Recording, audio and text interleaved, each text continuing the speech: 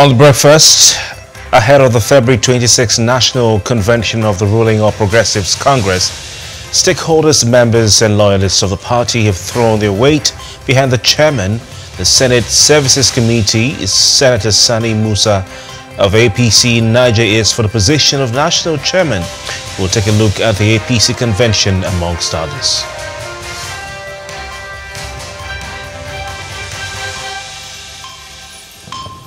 We'll also take a look at the call by the House of Representatives for ritual killings to be declared an emergency in Nigeria. And don't forget, we also will go through the day's headlines of the national dailies, analyzing the biggest stories.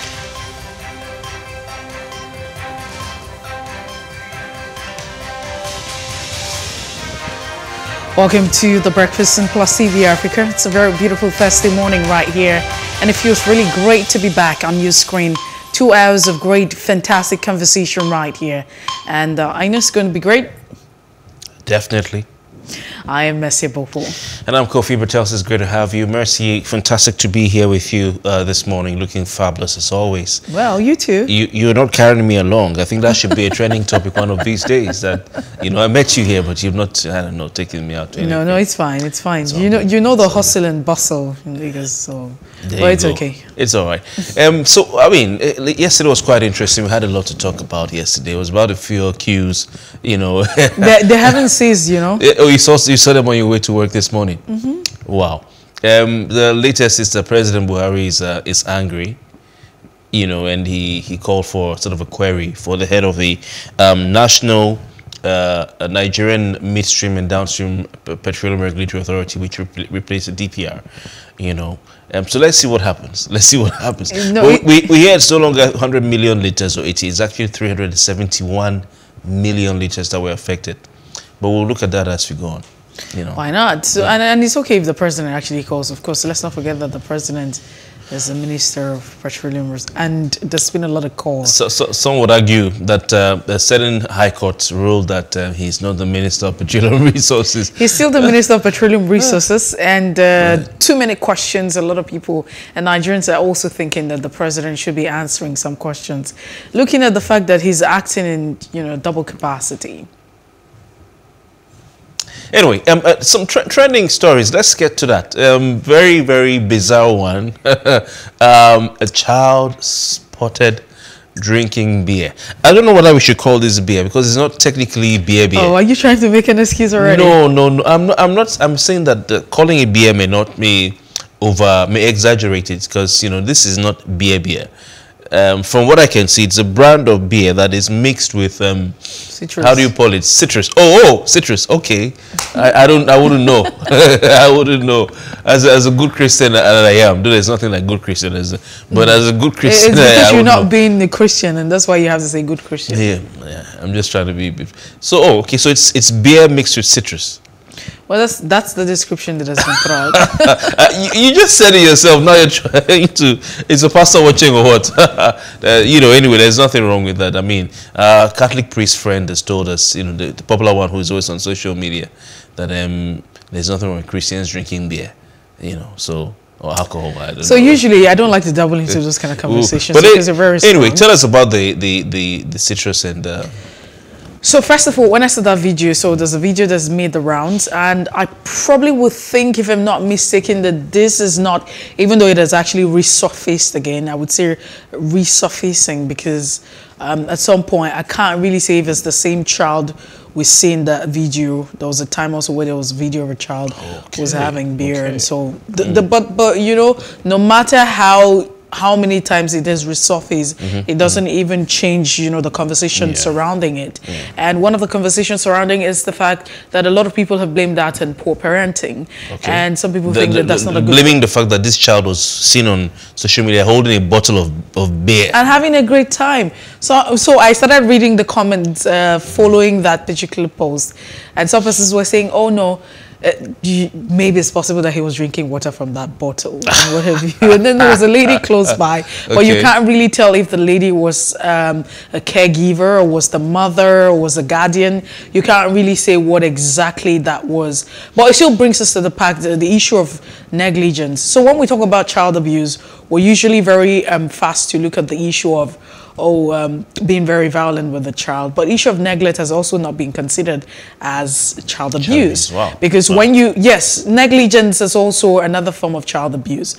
Because every child, even though we still have uh, out of the 36 states across the federation, including the FCT, a lot of states have not been able to adopt that, domesticate that particular law to say, okay, the here, Child- this is Child Right Rights Act. Act. Yes. So oh. not every, I mean, the entire state, if you look at Nigeria, not every state have been able to adopt that. And the issue of negligence is top on the list. But, you know, usually when we talk about child abuse, we're very quick to look at, you know, the physical harm that's been caused to the child, sexual harassment and what have you. But negligence is also another form of child abuse because according to the Constitution of every Republic of Nigeria, you're a child, I mean, looking at who a child is uh, from zero, you want to say to like 18 years. And at this point in time, it's expected that you make decisions and protect this child. I mean, let's look at the content of that. However, I want to make it look like see-throughs and a little bit of, you know, Is it, is it really beer? Is it really beer? I wish I wish you could put the, the, the, No, the, we the- picture on, on on screen. But is it really beer? You know. But the funny thing about this, are we going to argue if it's really beer or coffee? I- I- are we asking. really going No, to no, no, argue? It's a question. I want to know. I don't. I'm, I'm asking No, to you- know. you- But but the funny thing about it is that the the um, the body it's a, it's um, a popular. Um, um, Brand. uh, brand that has to go one of the things in the sky, you know that we see, you're trying to describe. you know that shine bright, you know the ones that shine. But Okay. anyway, um, the, the the the the Twitter handle for for this brand that you said is mixed with what beer and what No, you talked about it. I you mean, know you said it's mixed I with don't know if what it's beer and what citrus, Okay, a combination then. of citrus yeah, and a alcohol. consultant on Beyond Matters for today. they said this. They had to put out a tweet. You know, our attention has, and you know, in this this time, everybody is just trying to be politically correct. I'm tired of it, this political correctness and uh, and you know wokeness, and you know, you just you can just they put out a tweet. Attention has been drawn, but in, terms of you know public relations, it's it's okay to do that, you know. But the pressure on, on corporates, you know, on people is a bit too much because you get, get called out and cancelled, you know. But anyway, they said attention has been drawn to a video of uh, a, and, and they they do their job, which is they say it's not for persons below 18, you know. And but because of fear of backlash, they have to do this. That's the world we live in today. But anyway, they said attention has been drawn to a video of a child drinking this brand. Uh, we are disturbed by this video as it promotes the wrong values. Say no to underage drinking. You understand? So they put that, that out, which is okay, which is okay. But the pressure, you know, uh, would have been No, you, you them. necessarily not said the pressure, and that's why I came. Okay, so if you set the pressure, then it's okay to set the pressure. But like I have mentioned, the issue of negligence, because you're a child up until you turn a particular age according to constitution, and uh, within this ambience, you're expected that you should have people who should protect you, because I- you I'm can't. You're not it's, it's expected not to the make fault of, decisions. of the beer company. They, they no, should- no, it can't should- be the fault of the beer Yeah, so they- company. but- but, but it's necessary that they put that out again as a It's- reminder It is, but I'm saying the, of the, what the, they stand the for. world we live in today, there's so much pressure, you know, on, on brands, on people, on individuals that you, you know, you don't know what people are going to throw your way and start canceling you and boycotting you, and then it, it's it's now become so too much, really, So- you know, for me. You know, look at what's happening to Spotify. I mean, I, I'm black. You know, but but you look at what's happening to Spotify and uh, Joe Rogan, and then a lot of other things. You know, um, people are under pressure to just be politically correct these days. You know, that's that's that's what I'm saying. So it still brings us one and uh, the same thing that we have been saying that it's an issue of having negligence. A child has been neglected because if you look at child By by negligence the parents. by the parent or the guardian or Okay, whoever is involved. Okay. And that's also a case of child abuse because within this particular age, you know, period of time, what or however you want to put it, it's expected that the guardian parent Mm-hmm. should be responsible for them, look out for them, and understand what you know is right and what is not wrong because uh, it's also been looked at at that particular age they're not able to make some decision and judgment for themselves so it's it's just a case of uh, another child abuse because someone has refused to pay attention. But hopefully, uh, let's just look out for kids and our children. Yes, very important, very important. But um, you know, some things happen, and then people will be asking. I mean, are you surprised? Like, it, we've seen it several times. What what people are doing, what we see on social media, is we see worse than that. You know, um, thankfully, you said this one is is fruit juice and beer, right? why do you why you sound, you sound like you I'm know, the one that produced. There are parents who actually give their children real full beer. I've we've seen videos of parents giving their children beer. You know, when we're kids, you know, we have parents who in parties they'll call the, the kid, come and sit on my lap, take. And they have a reason why they why they do that. You know, but but um, at least a message must be passed. Um, and and I think the the company did well to also lend a voice to say, you know, underage drinking is wrong all right. I know I'm a bit emotional about the whole pressure on, you know, but that's the right thing they should have done. Uh, Mercy, let's talk football. Um, uh, people were wondering why the Nigerian Football Federation uh, went back on its uh, uh touted appointment of uh, Jose Mourinho's former assistant at Real Madrid, um, Jose uh, Peseiro, as the coach of the Super Eagles after the Nations Cup. You know, um, in, in, fact, during before the Nations Cup, when Austin Eguavoen was appointed as interim, you know, manager or coach, or like we say in this country, technical advisor um, of the Super Eagles for the tournament, people was like, if you you have a new coach who is going to come in and, and, coach the Super Eagles team, why don't you appoint him and let him lead the team? But you know, they said they wanted him to study the, the, the Super Eagles and all that before he comes on. Now, after that Egypt game, of course, we all remember that Nigerians were saying, well, look at they played well, they beat Egypt. So Eguavoen should be the coach. You know. Now, following the Nations Cup, Eguavoen stepped aside. And then a couple of days later, we heard that um, uh, had been reappointed as interim coach um, to be assisted by Amunike, uh, former Nigerian national, both team, teammates at the uh, USA 1994 World Cup. And people are wondering what's going on. So this man, Jose Peseiro, put up a statement on his Twitter, um, on his Instagram, you know, uh, account to say, I never had any agreement with the Nigerian Football Federation. That we were still talking. Only for these guys to come tell Nigerians and to tell the world that Peseiro is going to be their next coach. Had they signed any agreement? Was there any signing ceremony? You know, there was nothing like that. And man said they were still talking. They were still, they had not agreed. You know, so he said at the end of the day, they could not come, you know, to a, an agreement as to the financials and then some details in the contract. So there was no agreement at the end of the day. You know, and, and, and this meant that probably the Nigerian Football Federation should have maybe waited till the man had signed the dotted lines or what done what you call agreed in, agree in principle before coming out to tell Nigerians that this former Real Madrid assistant coach has agreed in principle to be the coach of the Super Eagles. So, so, so it's just um, you know a thing of how we can be very, very zealous and sometimes forget all of that. So usually you probably are in talks with someone and then there's a body language, even though that has not been, but uh, it would possibly just be because I'm not holding breath from them, but I'm just imagining the scenario have, would have played out.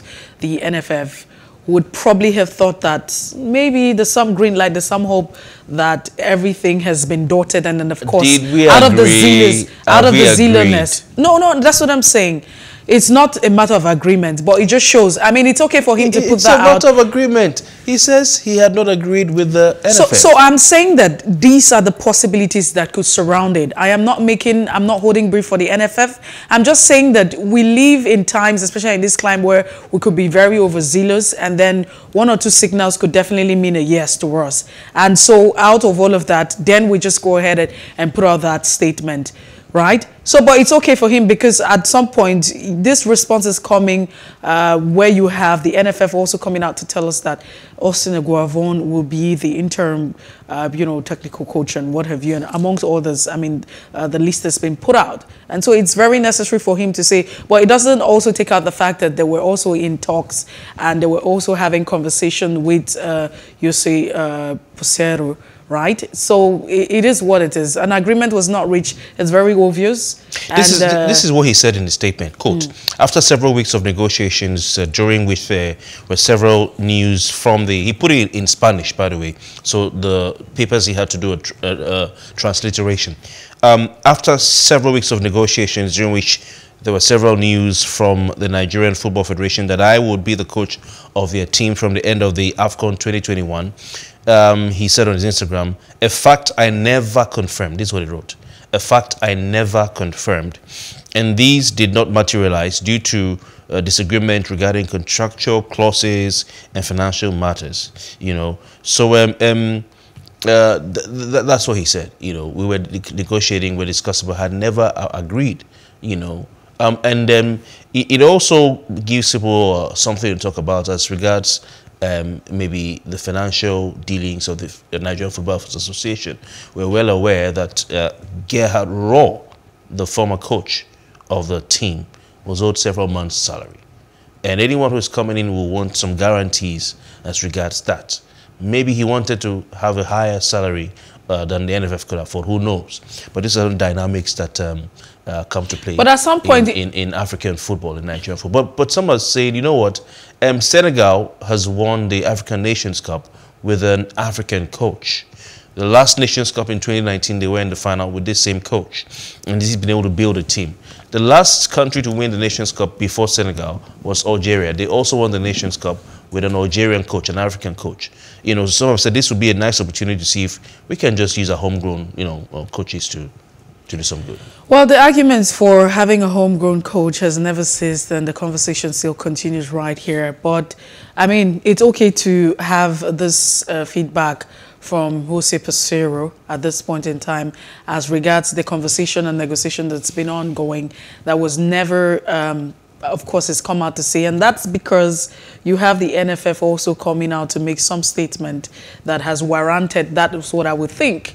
So, but as much as that's a very valid point, I mean, I'm just saying that in terms of negotiation, business and talks and what have you, there's a tendency that you get to that point where you feel like there's a green, I mean, we it's a done deal already. Because we would have expected him to speak earlier than before this time. So it felt like the NFF needed to make a statement before he comes out with that statement. Well, maybe, maybe well, he wasn't well, even in, consulted. In, in, we really do not know what it is. In football, in mm. football, you can never make a statement until you're sure. For instance, now a team wants to buy a player.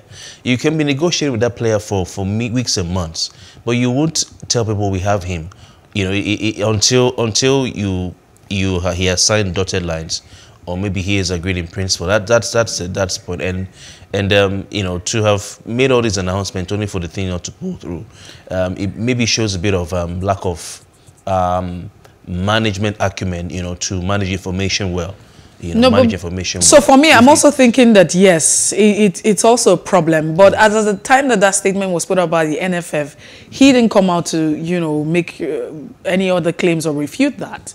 So there's also possible because whether or not you act, I mean, it's something called in business law that whether or not you have agreed to it, the fact that he didn't say anything within that period could have also meant that he had accepted.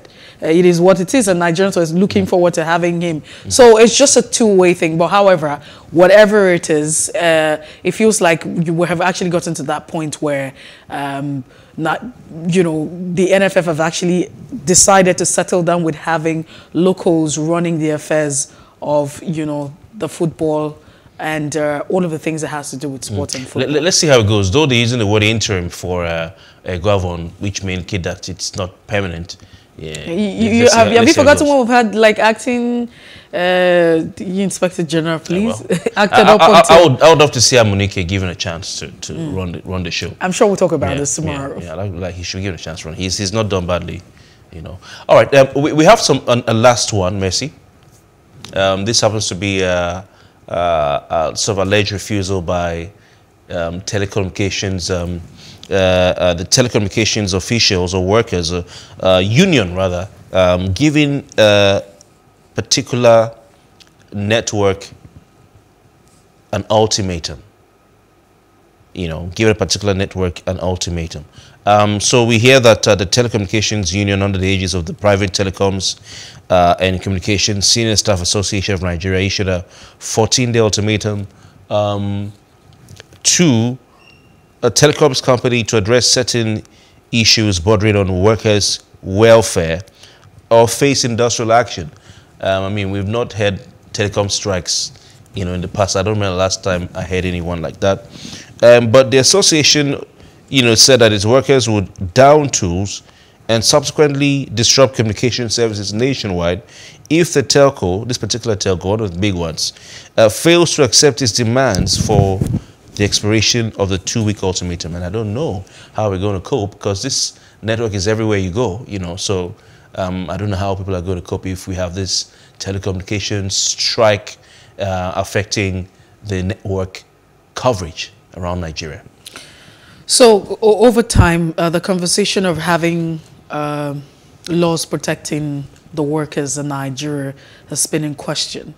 And so you constantly ask yourself the issue of welfareism. I mean, how are these workers faring? Uh, we want to begin to look at the current realities. It, it's really, really sad. So you ask yourself, someone who's been earning a particular amount for a very long time, let's say 50,000 naira, and that's like 10 years ago, 15 years ago, still ends, you know, 50,000 naira in 2022 it doesn't really add up. It doesn't make sense because time's evolving. We're moving with the trend. I mean, you want to even to begin to look at our climb, the issue of inflation, the value of the naira, and what have you. It, it doesn't really add up. So yes. Um, but as always, it, it, feels like, you know, because capitalism is a system of government that usually the, the priority is usually about, I mean, interest. Interest would always be it, profit. And so it feels like, you know, the, that system doesn't really necessarily care about the people. Uh, it's quite unfortunate. This is a time where you begin to ask the association, the laws, uh, what are the laws protecting the rights of workers, especially for the private sector and what have you. It's, it's really sad. But let's see how things pan out. All right, let's see how things pan out. Time to take a break. And uh, of course, when we come back, we'll dive into the details and analysis of the headlines from today's national dailies with Ezekiel Inya Etok, a public affairs analyst. Stay with us.